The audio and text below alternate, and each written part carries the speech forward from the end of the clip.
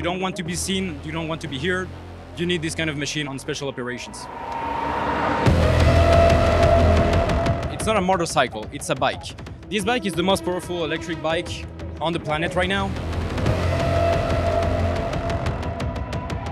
We're looking for a very quiet, furtive solution for special forces, police uh, operations that require them to arrive on site without a lot of noise.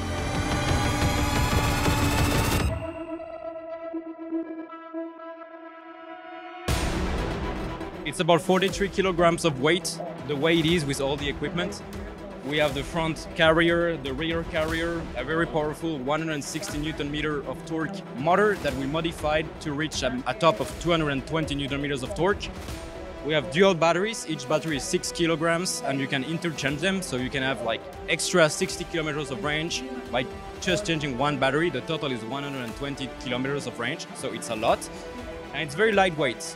And as you can see, it's ready for attack and ready for war.